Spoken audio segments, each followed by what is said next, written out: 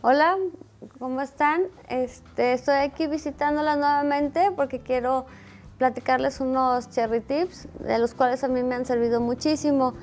Tanto para las flores como el modelado, es muy muy conveniente utilizar la pasta de goma al 50% y al 50% fondant, que sea blanco. Es mejor colorearlo nosotros mismas. Si el clima de tu ciudad es bastante húmedo, yo te recomiendo que utilices el 60% de pasta de goma y el 40% de fondant. De esa manera vas a tener estos resultados, vas a tener mayor firmeza y a la vez también le va a dar un poquito más de movimiento a tus trabajos.